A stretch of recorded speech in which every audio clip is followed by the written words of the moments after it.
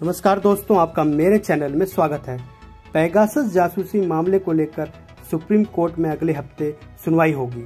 शुक्रवार को chief justice N V Ramana की बेंच के सामने इस मामले को उठाया गया, जिस पर चीफ जस्टिस ने कहा कि वह अगले हफ़्ते इस मामले को सुनेंगे। वरिष्ठ वकील और कांग्रेस नेता कपिल सिब्बल ने शुक्रवार को जस्टिस रमना के सामने इस मुद्दे को उठाया। उन्होंने वरिष्ठ पत्रकार एन वी राम द्वारा दाखिल याचिका का ज़िक्र किया। जिस पर चीफ जस्टिस ने कहा कि वह अगले हफ़्ते इस मामले की सुनवाई करेंगे। सुप्रीम कोर्ट में दायर याचिका में अपील की गई है कि पेगासस मामले की निष्पक्ष जाँच की जाए। इस जाँच की अगुवाई सुप्रीम कोर्ट का कोई मौजूदा या रिटायर्ड जज करे।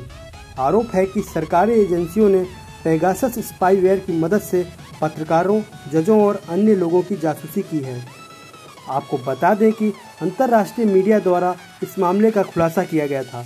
इजरायली सॉफ्टवेयर पेगासस की मदद से भारत समेत दुनिया के कई देशों के पत्रकारों, नेताओं और अन्य हस्तियों को निशाना बनाया गया था।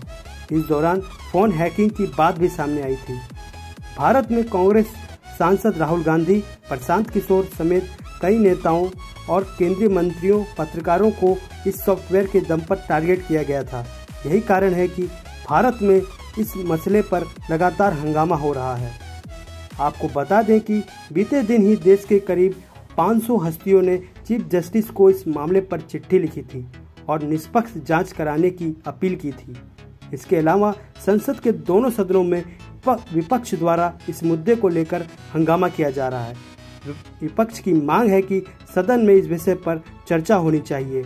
वहीं भारत सरकार ने पेगासस जासूसी से जुड़े सभी आरोपों को नकार दिया है। इस वीडियो में इतना ही। धन्यवाद।